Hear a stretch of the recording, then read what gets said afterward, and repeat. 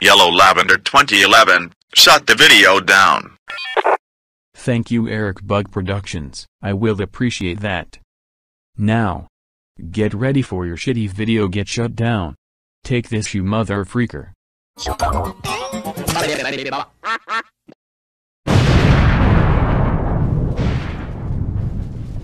There.